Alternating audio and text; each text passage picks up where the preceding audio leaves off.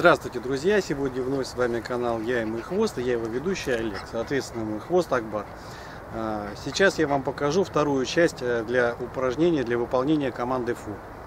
А, еще раз хочу повторить, что а, мой метод э, не подойдет для служебных собак, для каких-то жестких исполнений команд. Э, метод основан исключительно на гуманном способе и исключительно, значит, мы добиваемся того, что собака в момент выполнения команды фу, она не просто бросает предмет а, и не, не подходит к нему, а, а суть этого способа заключается в том, что мы вырабатываем положительную эмоцию и при исполнении команды фу мы должны а, с вами добиться результата, когда собака отвлекается от предмета велосипедиста, какой-то еды, которая валяется на улице, там кошки, человека, ребенка. И э, моментом исполнения команды мы добиваемся то, что собака должна подойти непосредственно к хозяину. А второе занятие, значит, ну, примерно того же самого результата мы с вами должны добиться, но уже сейчас а, мы с вами добиваемся того, что собачка начала к нам подходить. Итак, упражнение треугольника.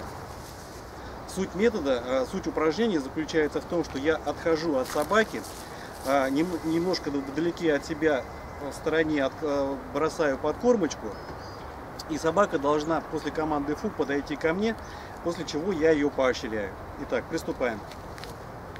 Я вот показываю сейчас о том, что у меня сейчас вкусняшки в руках находятся, чтобы он знал. Фу! Ко мне. Ко мне. Молодец, хорошо. И сам лично даю подкормку. Ну, моя собачка уже просто команду фу знает, я просто для вас показываю, как это вы должны выполнять. То есть, если собачка побежала, вы подкормку не так далеко от себя кладете, поэтому в момент, когда она бежит, вы э, пресекаете действия собаки тем образом, то, что вы забираете подкормку с земли. То есть, ей уже бежать будет нечему. Возвращаете собачку на место, а, и э, э, начинаете повтор, повтор команды уже в правильном русле. То есть кладете недалеко от себя, чтобы у вас была возможность взять ее а потом чуть-чуть подальше, еще подальше, еще подальше. Ну, примерно вот таким образом.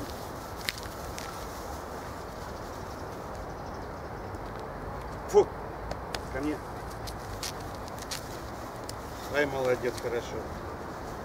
Молодец, брат. Как только вы добьетесь, что собачка у вас не будет бежать под кормки, а сначала будет подходить к вам, вы уже делаете следующий, значит, как бы стадию упражнения, вы уже добиваетесь того, что а, подкормка находится между вами и собачкой. То есть она должна пройти через нее.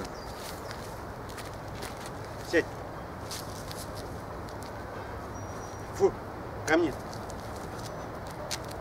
Вот собачка благополучно прошла.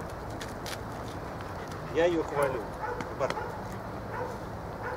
Молодец.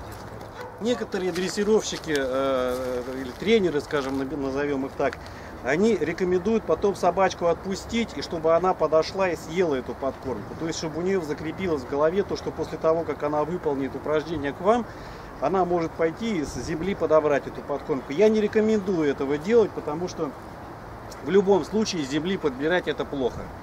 Вот именно, по этой, э, именно поэтому я не рекомендую делать. В результате мы с вами добиваемся чего? То есть, э, когда вы говорите фу, собака отвлекается от предмета и с радостью бежит к вам. То есть, э, собственно говоря, чего мы и добиваемся. Еще раз хочу сказать о том, что для служебных собак эта команда не подойдет, потому что при исполнении служебных каких-то команд она должна просто бросить, отстать этого от предмета.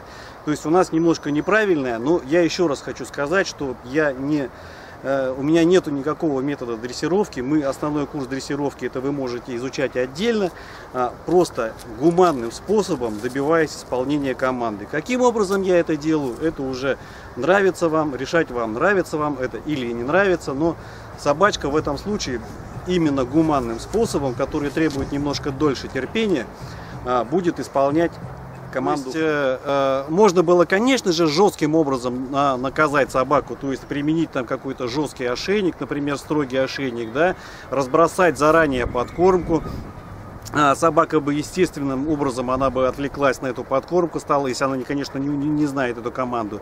А после чего, как от того, как мы произнесли бы, произнесли бы команду фу, мы резко бы дернули бы с вами за поводок, да, собака испытала бы боль, и тем самым у нее закрепилось бы сознание после того, как вы произносите фу, ей будет больно.